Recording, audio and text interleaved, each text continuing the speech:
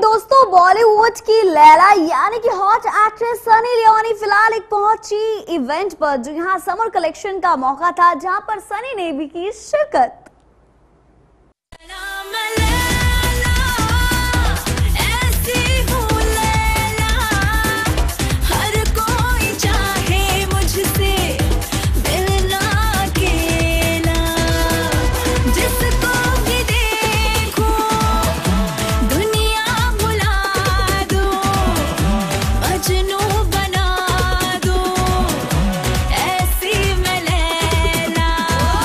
में अपनी बोल्डनेस और आइटम नंबर के कारण जाने जाने वाली अदाकारा सनी लियोन का कहना है कि वो स्वभाव से काफ़ी ज़्यादा है शर्मिली सनी का कहना है कि जब भी वो किसी इवेंट या फिर अवार्ड फ़ंक्शन में जाती हैं तो वो काफ़ी ज़्यादा शर्माती हैं।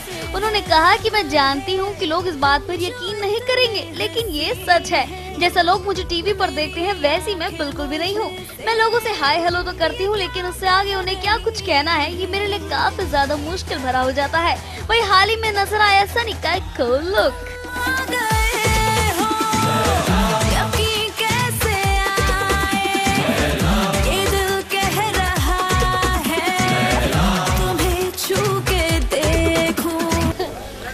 I like? I mean, if you've seen anything that I've worn, I like to mix it up. Um, anything from what I'm wearing today to something that's, you know, evening wear that's, you know, nice and sexy, and then something, you know, for the daytime. So it's all a mix everywhere. I'm all over.